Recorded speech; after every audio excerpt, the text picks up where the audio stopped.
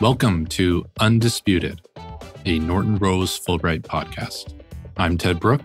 And I'm Erin Brown. We're excited to be hosting this special mini series to unpack the findings of our firm's annual litigation trends report. For 19 years, our firm's research has tracked changes and trends defining the litigation landscape, from dispute types and exposure to litigation preparedness and in house legal staffing by surveying legal professionals at organizations of all sizes across key commercial sectors in Canada and the US. In Undisputed, we'll explore the emerging trends and insights concerning the litigation challenges industry leaders are facing in 2024. Hope you enjoy.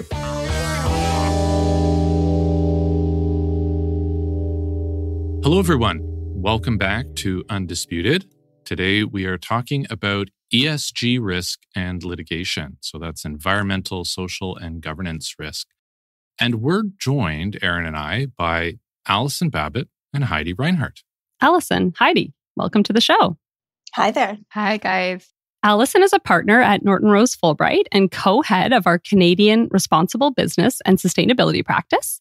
Alison is based in our Ottawa office, which is great for me because I get to see her all the time. And Heidi is a partner and a key member of our Canadian Special Situations team, which focuses on shareholder activist and defense mandates, as well as complex and contested transactions, and is based in Toronto. We're excited. Welcome to our little virtual studio.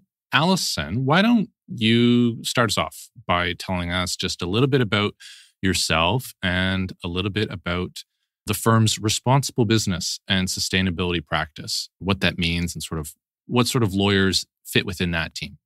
Great question because the ESG aspect of it isn't an obvious one. For me, just to give a little bit of background on me, I am a projects lawyer, and so I assist clients on all nature of matters in the renewables, clean tech, and, and mining industry. So that's really where I focus the bulk of my time. And with my role as co head of our responsible business and, sustainability team, I'm also dealing with a number of ESG related mandates. It's really important to understand that our ESG or sustainability team is a global team. And it is really important that I think that's the basis on which we approach the type of advice that we give because these types of risks are very global in nature and, and apply globally to clients uh, all over the world. We have folks that deal in this from a regulatory perspective, from a corporate commercial perspective, from a banking and financial institutions perspective. Obviously, human rights is a huge component of this. We have securities matters that come to the fore in the ESG space as well. And of course, very much subject matter close to your heart and Erin's heart, litigation risk is also a huge part of the ESG story. And so we have a number of practitioners very active in that space as well just to pick up on that, Alison, like you're not a litigation lawyer yourself, but we wanted to speak to you about ESG because it is, for me, one of those practice areas where there's so much going on geographically. So globally, things are, are connected, but then also practice groups. The issues that our clients are dealing with don't squarely fit within the scope of one specific type of service and without spillover. I think that's exactly right. And I always find it interesting when we get asked the question, how many ESG lawyers do you have? And I always say we have 4,000 lawyers in the firm. And so we have about 4,000 ESG lawyers because really we all have our own individual practice areas where we we're dealing with day to day and ESG touches on really almost all of them and think that's part of the key for us as a global firm. Not only do we have this expertise across the whole of Canada but to the extent we have clients who have an interest or an issue in say EMEA then we also have the same skill set and complement of lawyers in that jurisdiction as well and, and other parts of the globe that's so interesting, Alison. And I think you hit the nail square on the head when you said we all touch this a little bit. And on that note, Heidi, you also do a lot of work in the ESG space, but from a completely different angle. So, can you tell us a little bit about your special situations practice and how that touches the ESG landscape? Sure. So, my practice is corporate securities, generally speaking, and then ESG shows up in our special situations work where you've got shareholder proposals being made to companies. I see it in the day to day life of a public company in terms of what it discloses, And again, maybe the risk associated with those disclosures from a regulatory perspective, class action perspective. I think, as Alison said, this issue is a global issue, and Canada, in some respects, is not as far along as some other jurisdictions. So I think the potential for litigation or regulatory consequences is just being felt out. We're sort of getting a sense of where those things might be going. So for me, companies are asking, how do I make sure I protect against that? What rules do I have to follow? What happens if I'm operating in different jurisdictions? How do I make sure people are buying into what I'm saying and, it, and I'm saying the right things? And then you get into the E and the S and the G part of it, which we're seeing growth really in the environmental area in terms of regulatory requirements. But the social's been around already for a bit. And I think people sometimes forget that, that we public companies disclose about diversity, gender based diversity in particular. And the governance piece is something we do as well, where what is your board? What's its process to make decisions? How is it engaging in shareholders? So, as much as this is a new issue, it's something we've already been helping companies with in ways they may not even realize. Um, and so, I, picking up on that, Heidi, you say that Canada it's becoming more of a or, or, maybe you said it was a little bit behind some some other jurisdictions in its development as an issue for public companies. Also, it's a kind of a practice area for people doing work in that space.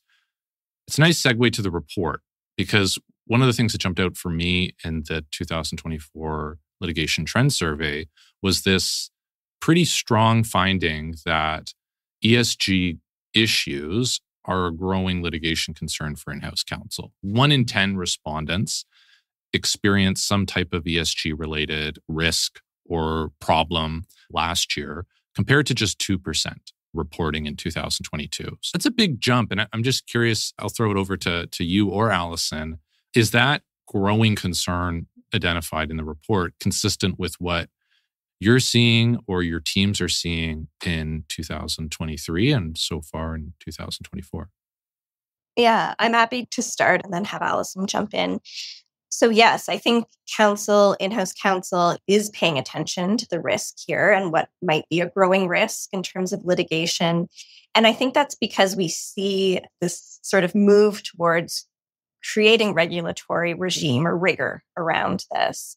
To get ahead of that, I think people are trying to anticipate what are we already disclosing and how do we make sure that is accurate we know the regulators are looking at this. And if regulators are looking at it, shareholders are looking at it. And there's a risk there. Did you have adequate disclosure? Did you have misrepresentations? And we've seen, we're already seeing a bit in Canada that certain people are trying to bring those claims. Then it doesn't have to be public companies either. Any disclosure you're putting out there as a company, I think people are now looking at closely. Is it your advertising? There's the greenwashing concept of we're an ESG aware company. We're making these commitments, but are you actually carrying out those commitments or is that was that just used for promotional purposes? Diversity washing is the same concept. Like we're committed to having diverse workforces, but what are you doing to make that happen? You can't put claims out there if they're not true. So I see a, a real focus of counsel to pay attention to these issues because I think we're building towards people starting to say, we have to hold you accountable for what you're saying. Yeah, and I completely agree with that. I think one of the key areas where I think we're seeing a lot more movement and clients asking questions is also just really in relation to the more developed European standards for disclosure that have been very much in the press of late. There has been quite a bit of movement with the CSRD and the CS3D. And some folks on this podcast may be saying, why are you guys talking about European standards for a Canadian company? What, what does that have to do with anything? But they do have some extraterritorial reach, and it may impact Canadian companies who have that nexus to the EU we have had clients reaching out and saying, Can you help us join the dots? Are we caught? What do we do? And of course, fortunately, we have our colleagues in, in EMEA who are able to assist with that. And I think that type of growing body of change in the EU has, is really starting to move the dial somewhat in North America and particularly in Canada, as Heidi says, we're seeing much more of that movement towards broader disclosure, more transparent disclosure, and consistent disclosure across the globe, and also moving from that voluntary model into a mandatory model. I think the other place that we're, as I look at this uh, more globally and, and I look at it as a horizon scanning exercise, what I'm hearing from our global litigation colleagues is that we're definitely seeing an uptick in some of those novel claims, those novel ESG claims. And we've all seen some of the successes, particularly from the Dutch courts, that have been quite high profile. And really, it remains to be seen whether those lower court decisions will make their way into higher courts. But certainly, with that uptick in litigation we're seeing globally and NGOs and other parties willing to take forward these types of actions. That's so interesting, Alison. And I think there's so much to unpack in what you just said. I'm excited to unpack it as the conversation evolves. But you talked a lot about the EU and how there's a lot of trends in terms of reporting obligations and also some cases that are happening in Europe. Where does Canada fit into that trend? The anti ESG sentiment I think we're all talking about here is some of that regulatory pushback we've seen in the US, in certain states in the US, certainly, how one determines financial risk for investments and whether or not ESG should be a factor in that determination. And I think we're seeing less of that anti ESG sentiment in Canada, at least from an, a regulatory perspective. I, I don't think we're seeing that same pushback. And there may be pockets of that sentiment in parts of the country, depending on industry type. But from a regulatory perspective, what we're seeing is we're really seeing that move from the more voluntary disclosure regimes and the voluntary guidance like TCFD and, and the like, moving into that more mandatory disclosure type in a way that we hadn't seen before. And modern slavery is another good example of that, where we've moved into uh, a mandatory disclosure regime, really a mandatory reporting regime. And that's really part of Canada responding to the international commitments that it has made. So I expect that trend will continue. Alison, so far I, have counted three acronyms from you so far that I had no idea what they mean. Latest one was TF's TF. I don't want to quiz you on it or even learn necessarily what they all mean, but at a high level, is it fair to say that the acronyms are shifting from a sort of voluntary buy-in sort of regulatory requirement space in Canada towards what I understood you say to be a more mandatory regime more akin to what maybe EMEA has had. For and speaking of, of acronyms, EMEA is one that everybody but everyone knows may not. do, do they? I don't know. Europe should have said Europe. I don't know. Listeners, can you Europe please and, hint at if you don't know what EMEA ma- meant? and like a good portion of the world, in addition, yeah, Middle East yeah. and Africa. Yeah. As we look at ESG and sustainability from a North American perspective, it's certainly very clear that in Europe, regulators are further ahead than where we are.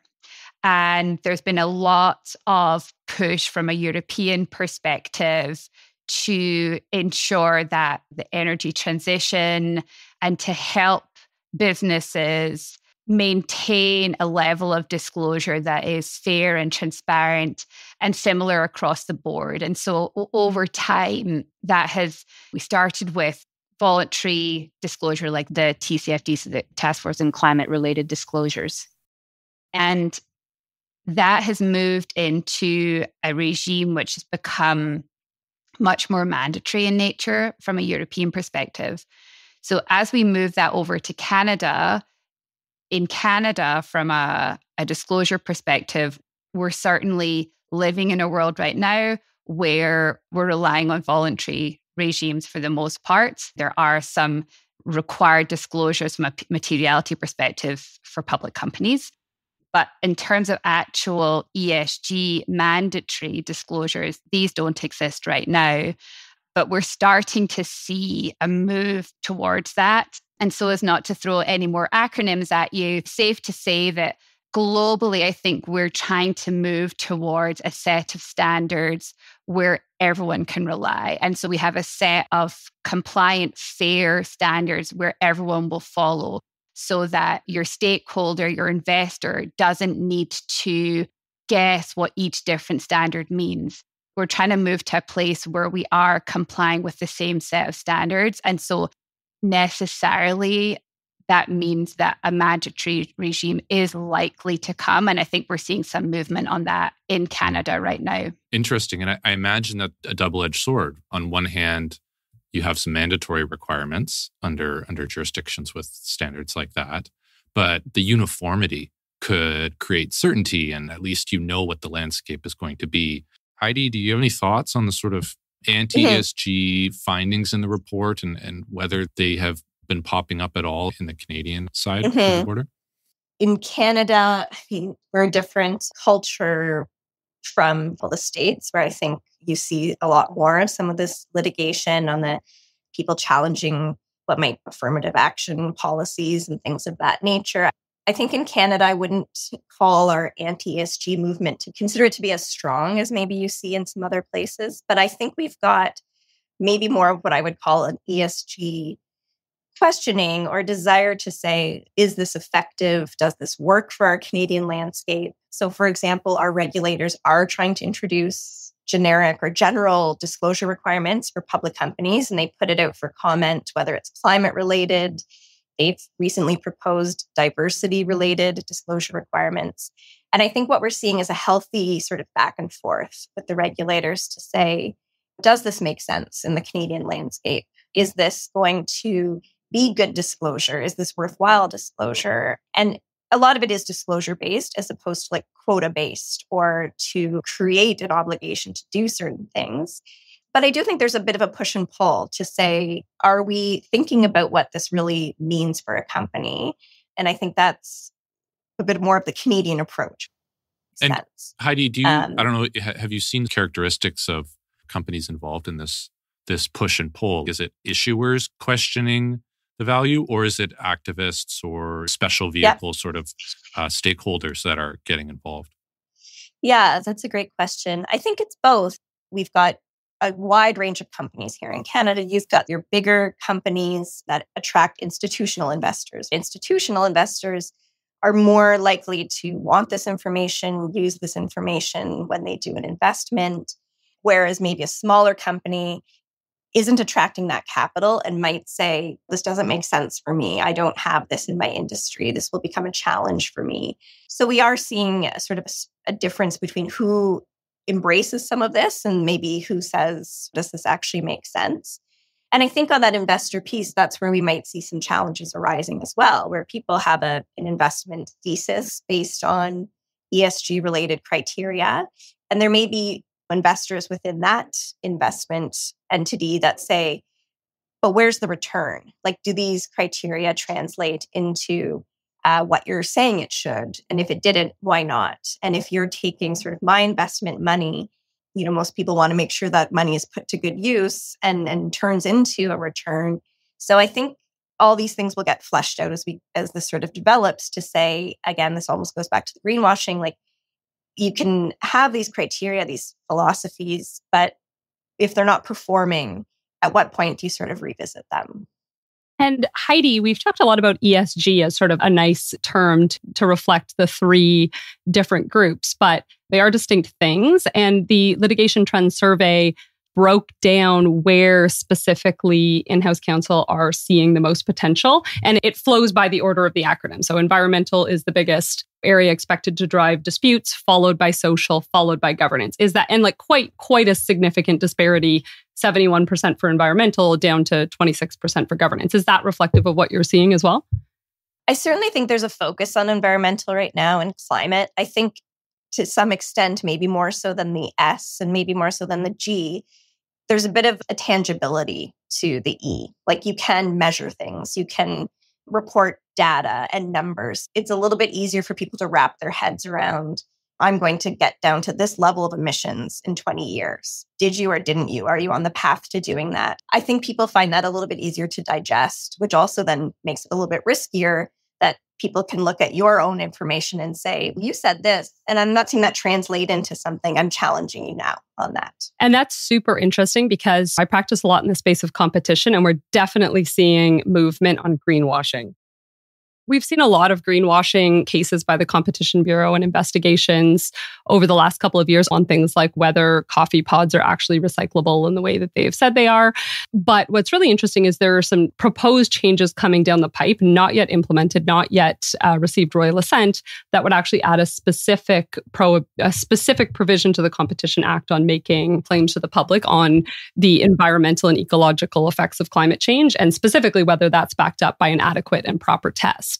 And then as part of the changes, we're also seeing an ability for increased private applications to the competition tribunal to challenge. So, you know, in the past, the competition bureau would be the one leading investigations, and we're more and more seeing this ability for mm-hmm. private applicants to actually directly challenge from a sort of deceptive marketing standpoint. So I think what I'm seeing in my practice, to our point earlier about how we're all doing a part of this ESG, is really following the trends that you're both talking about, that we're seeing increased provisions from regulators, increased focus on the E, particularly in ESG, and a lot around the environment and ecological effects specifically. So, mm-hmm. and that actually brings up something I think Alison and I were chatting about before, which is that to your point about maybe creating this new private right, like there are new avenues I think that are coming up for people to make complaints or to bring an issue to, to someone's attention to maybe do something about it.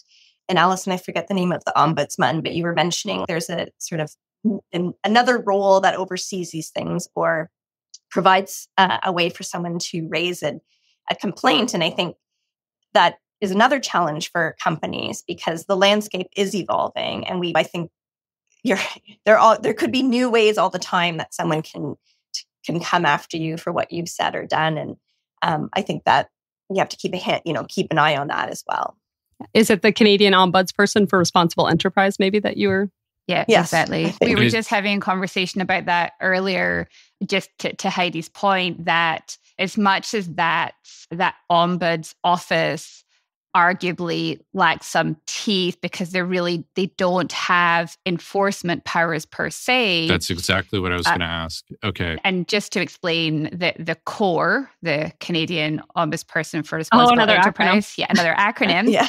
uh, just to keep you on your toes they review complaints about potential or possible human rights abuses that are alleged to have been done by Canadian companies outside of Canada. They focus actually on three core industries so garments, textiles, mining, and then oil and gas. And so it allows individuals, corporations to make a complaint to say, we think there has been some forced labor in that particular area. The core then has an opportunity to investigate that. Businesses can participate in that or not participate in that as they wish. But at the end of the day, if a resolution cannot be found to the particular issue at hand, then there is a huge reputational risk for a company receiving not only a complaint of this type of forced labor or human right abuse, but also if they've been found to be a violator, then reputationally that's hugely damaging for them. And then, of course, there's the potential for litigation that might flow from that.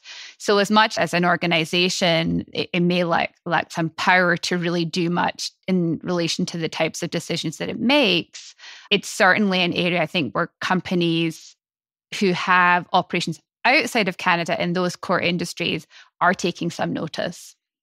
Yeah. And my head was going to the exact place that yours was, Alison, that even if this doesn't have teeth from what we would traditionally refer to in an enforcement perspective, this could well be what's keeping GCs up at night because of the potential for reputational harm to the business. And maybe just to add to that, some of these are all just strings too that people start to tug on. And if you are an activist looking at a company, this becomes the fodder to say, okay, maybe the ombudsman isn't going to bring a billion dollar claim against someone, the activists will look for any means to say, this builds our case that this company has a problem. And I think that just adds questioning judgment of management and the board because exactly. Of, yeah. And it's a little bit of a waterfall effect that we've got an issue here. Interesting. So in, environmental is big. I think it's front of mind for a lot of, of the respondents. Certainly a lot of the public is just more aware of the sort of novel lawsuits that Alison's referred to and the impacts of climate change are front of mind for a lot of people. But the S in ESG, I just want to pause there for a moment and see if you could offer any insights as to what those sorts of risks look like? You know, when we talk about the social risk, I actually think a lot of a lot of folks just say, what does that even mean? And to Heidi's point, the social aspects of this have been around for a long time. We've been talking about diversity for for decades and what that looks like from say a board perspective uh, for public companies and the diversity of, of women on the board.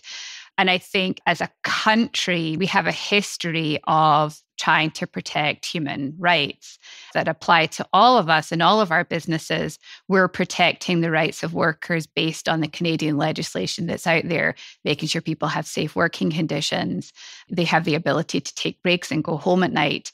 There's already a, a lot of legislation that's in place to protect that. I think during COVID, necessarily, there was a lot more rhetoric around social risk and social rights. And that I think that term social risk became a bit more known during that time, and people became a lot more aware of the type of social pressures and social risks that we have. In Canada right now, obviously, the modern slavery risk and this idea of protecting against forced and child labor is just very front and center right now because of a new piece of legislation that was enacted and came into force on the 1st of January this year.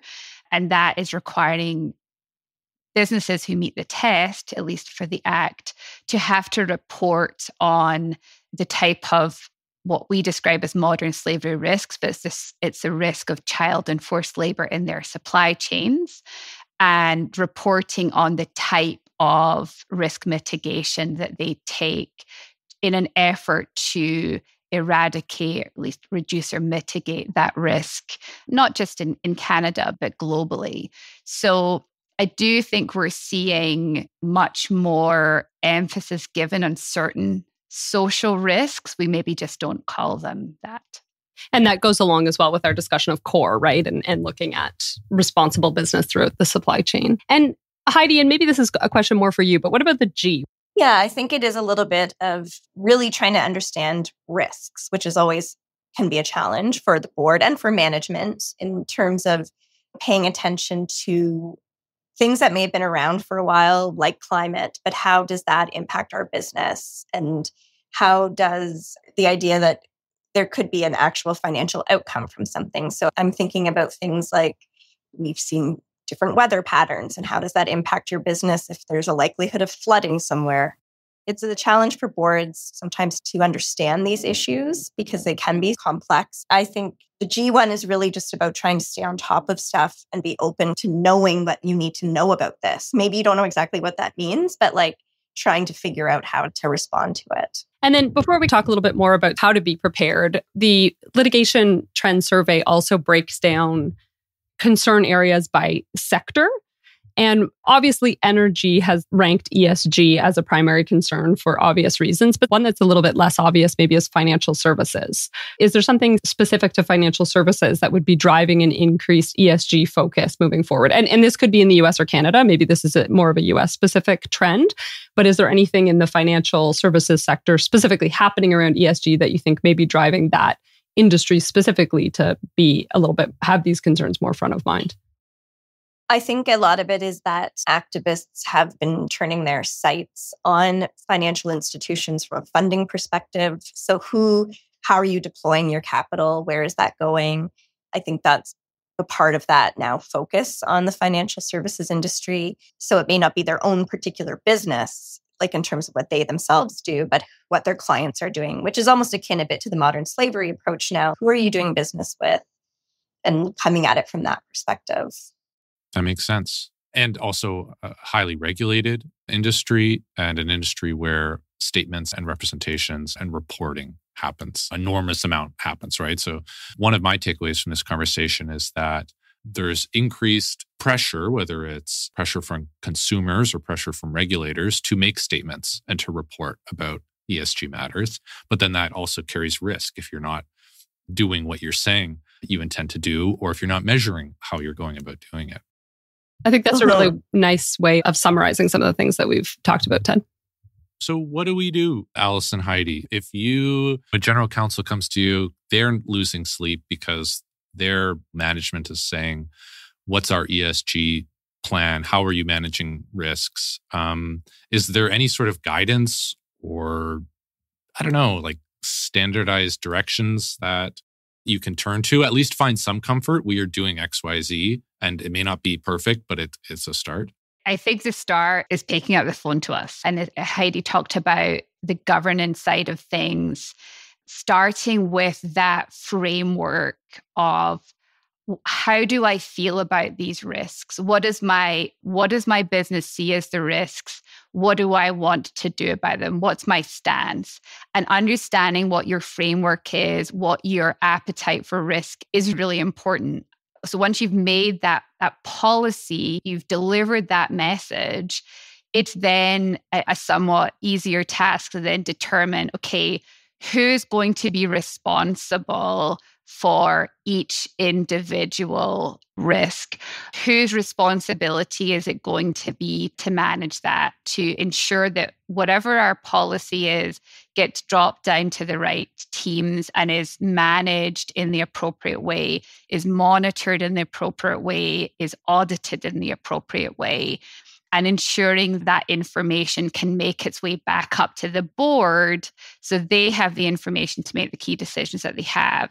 So for me, it really starts with that very strong governance piece will start a business in good stead to then be nimble to be able to respond to the issues that, that come along.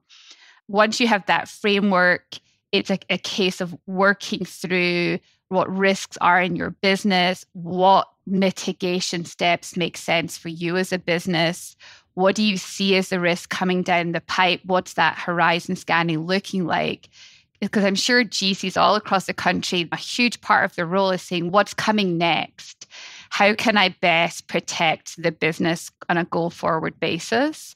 And if you can be ready and have the governance structure, the tools, and the people that you need to help you in place, that that makes you much more nimble to be able to really cater to those risk factors as they come along.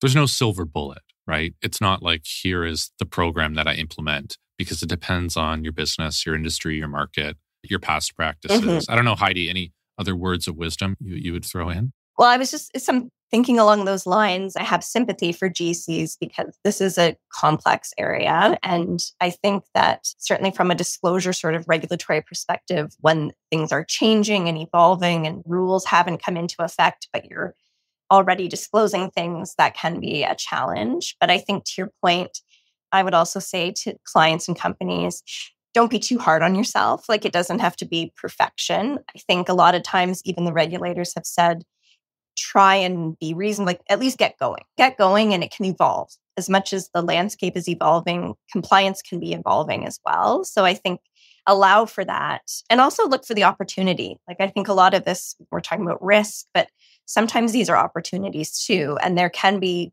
just simple things that you can do as an organization to maybe promote an element of ESG. And as Alison said, you can call us and we can talk to you about that as well. But just don't be afraid to just start and kind of see where where it takes you doing something is often better than doing nothing. But yeah, I think you yeah. also made a point, Heidi, in one of our discussions before the recording about being consistent.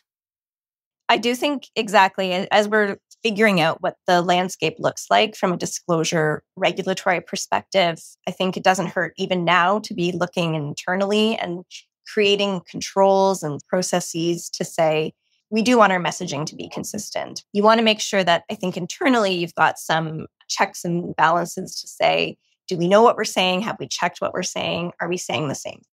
Awesome. Thank you, Alison. And thank you, Heidi. Like, this has been a great conversation. And it's a topic that I care about because I deal a little bit with the E of ESG in, in some of my environmental litigation and contamination cases. But I don't get to see the full picture very often because I'm just focused in that single lane. But I appreciated this. Yeah, and I think we probably just scratched the surface of all of the potential ESG stuff out there.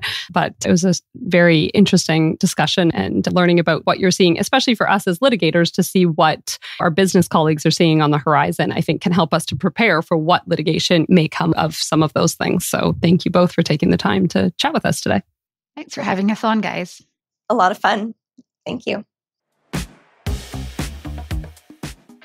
Here's what I'm taking from ESG is like you won't get in trouble for what you don't say. But now you have to say things. And so people are getting in trouble and there's more risk. And I think it's a good thing, right? I think that in, in a lot of sectors, mandatory or at least standardized, even if not mandatory, reporting requirements can make sense because it creates some certainty. It creates some consistency to this is what we have to do.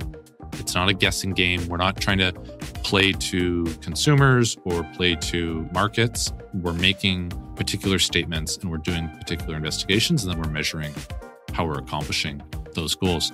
And I think the other point for me is accuracy and to Heidi's point, consistency. If you take the modern slavery reporting legislation, for example, the real thing right now is just be accurate. Don't try to be aspirational and say something that you're not doing. You just have to be reporting on what you're doing. You could theoretically say, I haven't done anything, and they can't do anything about that at this point. But the point is that the bigger consequence legally would come from saying something inaccurate than saying nothing at all. Same with greenwashing. Like once you say something, it has to be accurate. So I agree. I think that is the takeaway of this discussion is like accuracy and consistency. Make sure that what you're saying is accurate if you're going to say something, if you have to say something, or if you want to say something because you want to promote a certain aspect of your product, just really make sure that it is accurate and be consistent in the way that you describe it in your advertising materials and your disclosure. Yeah. yeah so I think I like accuracy. I, I like, I'm going to add a third. So accuracy, consistency, but then timeliness. So revisit your statements, right? If you've said something seven years ago about your carbon footprint reduction plan, are you revisiting it? Because maybe it's no, yeah. if it's no longer accurate. Yeah, if you said 2030 and then a whole bunch of stumbling blocks yeah, came up, because, yeah, it's still out there as a disclosure. But you know what? That just plays into accuracy. So I think that you're right. Accuracy and consistency lessons for today. I like it. And I appreciated both Heidi and Alison talking illuminating the G of ESG for me a little bit, right? It's more about the framework, identifying teams, having monitoring, reporting, auditing responsibility delineated for all aspects of your business. And then that makes you like a more nimble, effective organization for responding on these issues. Anyways, that was a fantastic conversation. What are we doing next? We've done the report at a high level with FDP. We did cybersecurity with Imran and John. John and Imran. And ESG. I think that, you know, Heidi's conversation around securities and special situations, I think I think that's an area we maybe need to dive into a little bit more because I think, you know, it's something that we often see as being less of a litigation topic, but I think I think there's a lot happening, a lot happening there. And we need to uh, I think we should should do our fourth episode on that. I, I agree. Yeah. Thank you for listening to Undisputed, a disputed spinoff. To learn more and download our 2024 Litigation Trends Survey, visit litigationtrends.com or visit the link in our show notes. And you can subscribe to Disputed on Apple Podcasts, Spotify, or wherever you get your podcasts currently so that you won't miss any of our episodes.